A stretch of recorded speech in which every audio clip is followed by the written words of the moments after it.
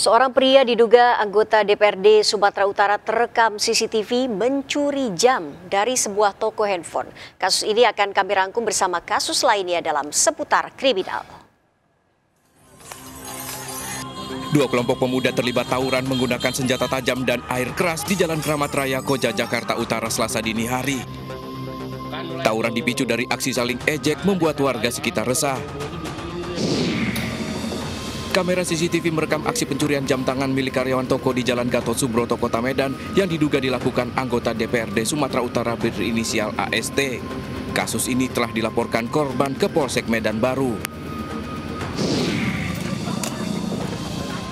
Sementara itu, penggerbekan kampung rawan narkoba di kawasan rel kereta api Tebung, Medan, Sumatera Utara sempat diwarnai aksi perlawanan dari warga. Empat orang pelaku diamankan dalam penggerbekan.